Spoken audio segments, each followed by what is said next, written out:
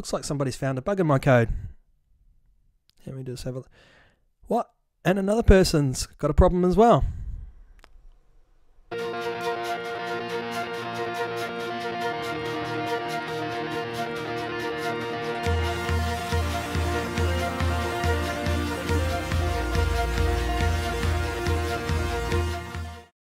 Welcome to Mobile Application Tutorials. My name's Nigel.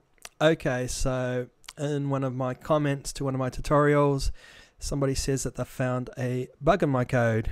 Let's have a look at it. Okay, so basically the person says, I don't know if they're a man or a woman, but hi dear, thank you for your tutorials. I check your code and test in Lollipop. Marshmallow have debug. Um, debugging in Marshmallow, I gather. English is obviously not their first language, but that's that's that's okay. When finish record can't preview, okay, so they can't start up the preview session. Have bug, okay. Do, do I have a bug or they have a bug? Please check your code again. Oh, maybe I have a bug, and test again. Okay. Uh, my comment to this person is, if you've watched the video, you can see that I can restart preview on my Nexus 5X device. So on the device hardware and Marshmallow environment I'm using, I can produce, I can not produce their problem. Everything works fine. I can start both the preview sessions and the record sessions fine. So it doesn't matter if I test again. You know, you can see on the video that um, what I'm doing is working fine, but it's obviously obviously that this person does have a problem. But what what pulls in my attention is another comment. Let me just see if I can find. Okay, here we go. Same problem here. My code on figure failed, um, and show toast unable to set up preview. So this person's having the exact same problem. One good thing that they're showing me here is Samsung 5.5. They're using a Samsung 5 device, which is good to tell me that, and they're running on Lollipop OS. So that's very good information there. And as you can see, I only use Android Nexus devices, such as the device here, Nexus 5X. Uh, the reason I use that is because that's basically been supported by Google in, in development of the handset. So it uses all well tested reference code um, implemented and recommended as a handheld device should be set up by Google themselves and supported by Google as their one as their reference handset, so to speak. So these are the uh, ideal devices to be working on.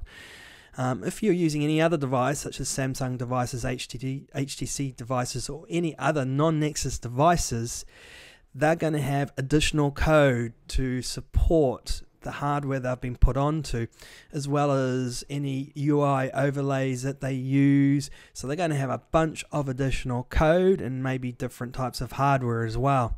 So they they could reproduce problems that you don't see in Nexus devices. And those problems you can think of as additional problems, not core problems. They're code built on top of the Nexus 5, you could say. So, using non Nexus devices, you potentially can see problems that I won't see and I won't be able to reproduce.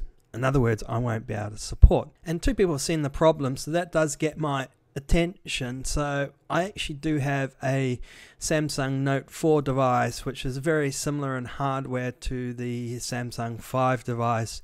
So what I'm going to just try, and this is only once, this is probably the only time that I'm going to run development code on a Nexus, uh, on a Samsung Note 4, because it's got a whole bunch of additional code extra to mine uh, Nexus 5X, and it just makes debugging development so much more challenging. But for this example, this tutorial series is going to be about debugging on Android devices. So let me see if I can reproduce this problem on the Samsung Note 4. So let's go over to my Android Studio. Just for reference, I am using Android Studio 2.0, so there's probably going to have to be things just to work around because it uses a newer version of Gradle. Okay, so I've got Android Studio here. Now, what I want to do is it's it's it's an older version. It's a slightly older tutorial here, so I'm going to use the git tag just to get that older environment. So if I just type git tag, and it's here, camera to video capture. So select that and check out that tag. So go down to git, check out tag or revision, and select camera2 capture. Okay, already I've got some Gradle stuff here, so just let me close this and let me just clean my master environment. Now switch across to the tag.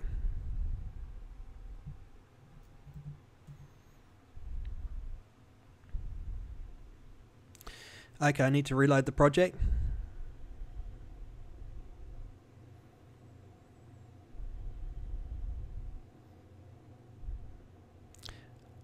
Wait for Gradle to configure everything.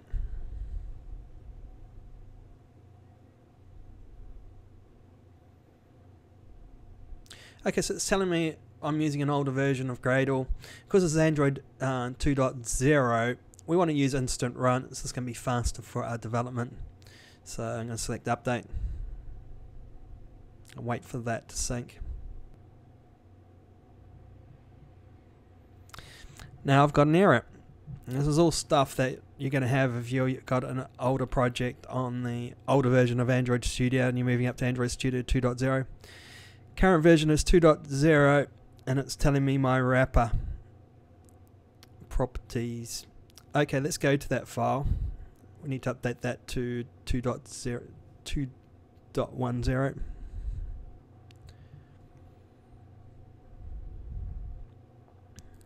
Let's open up the Gradle Gradle wrapper properties. And let's change that line to 10 save that and try again.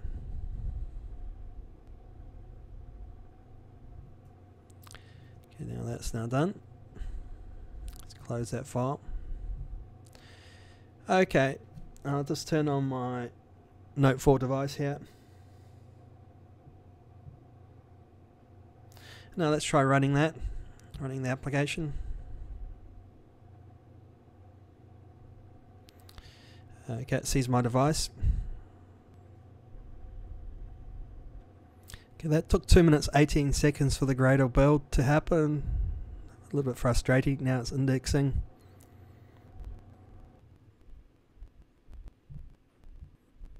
Okay, I just want to filter out that name, so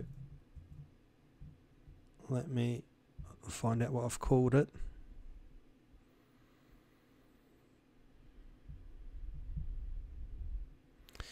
So I just type app tut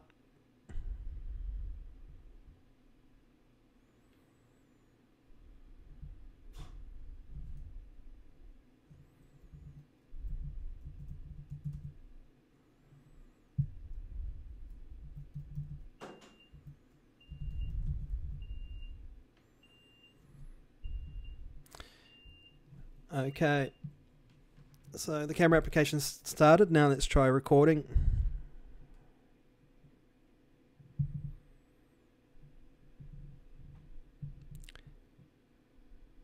Stop recording.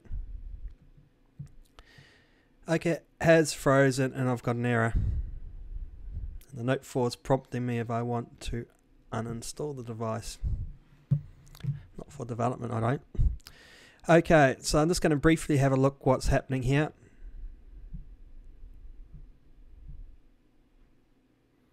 And I'm basically interested in this line here. I'm getting a an exception here. Camera device is already closed, so something's closed the camera device, and it's given me a few lines of code to look at as an indication. So at this stage, I'm going to conclude the introduction to debugging here basically we've confirmed that we've got a problem, which is good. So we can move on for that because we can reproduce a problem. If you can reproduce a problem, you've got the you've got the clues in place of how to resolve that problem. So it's very important to be able to reproduce the problem, which we can do on the Samsung Note 4 device. So at this stage, I'm going to conclude it, and following this is going to be another tutorial on how to identify the original cause of the problem, which is going to be quite a long tutorial.